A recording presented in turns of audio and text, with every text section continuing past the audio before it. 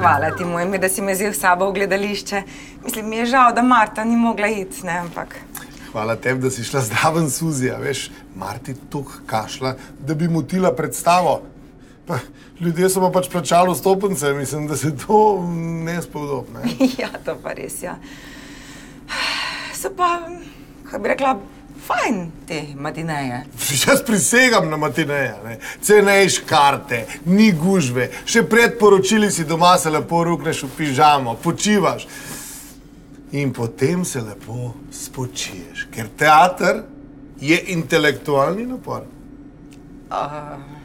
Ja, mogoče bi res bil, če bi naslednjič šla gledati matinejo, ki ni za otroke nad 12 let. Suzi, teater je teater. Pocen karte so pa pocen karte.